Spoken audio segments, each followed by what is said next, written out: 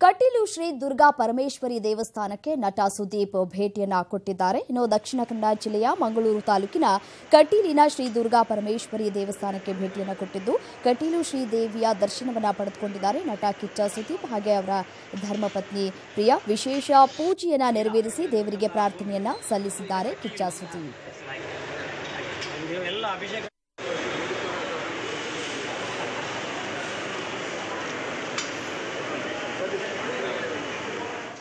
ಕಟೀಲು ಶ್ರೀ ದುರ್ಗಾ ಪರಮೇಶ್ವರಿ ದೇವಸ್ಥಾನಕ್ಕೆ ನಟ ಸುದೀಪ್ ಅವರ ಧರ್ಮಪತ್ನಿ ಜೊತೆ ಭೇಟಿಯನ್ನು ಕೊಟ್ಟಿರುವಂಥದ್ದು ದಕ್ಷಿಣ ಕನ್ನಡ ಜಿಲ್ಲೆಯ ಮಂಗಳೂರು ತಾಲೂಕಿನ ಕಟೀಲಿನ ಶ್ರೀ ದುರ್ಗಾ ಪರಮೇಶ್ವರಿ ದೇವಸ್ಥಾನಕ್ಕೆ ಭೇಟಿ ಕೊಟ್ಟಿದ್ದಾರೆ ದಂಪತಿಗಳು.